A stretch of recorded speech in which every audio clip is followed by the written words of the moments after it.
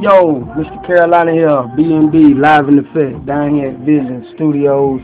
Getting it in, man, down here with Lace, you know what I mean, Q, Matt, KT, you know what I mean, Avion, you know what I mean, and my homeboy Green No Cash, right there on the ones and twos.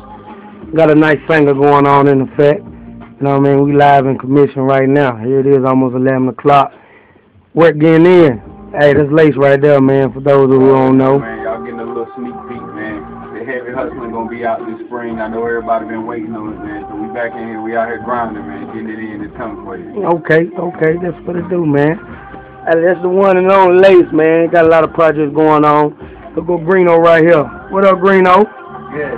Hey, it's been a long time coming, man. See you over there hard at work. Yeah, yeah. Q, what up, man? Hey, Studios, baby. Y'all better check us out now. Like, don't sleep until you hear what it do, man. Project's gonna come in, man. Hey, I like that. Matt, in the words for the camera. It's built for all day. Hard work pays off, man. You see? I like that. KT over there. You know what I mean? Hey, yeah, you got some words you want to put to the camera? Yeah, I'm all day. Hey, that's what it is, man. Another behind the scenes. Lace, you got some more words you gonna get to the world, man, before we get out of here?